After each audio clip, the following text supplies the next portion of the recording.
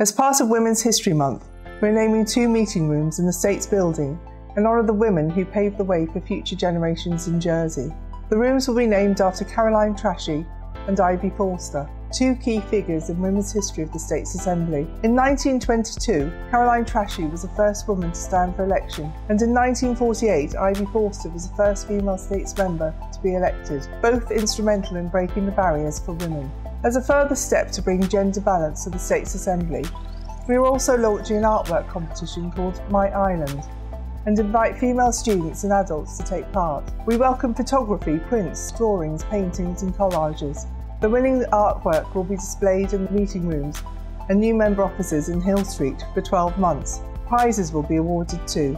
The deadline for entries is Friday 21st of April and full details of the competition can be found on the States Assembly website, statesassembly.je.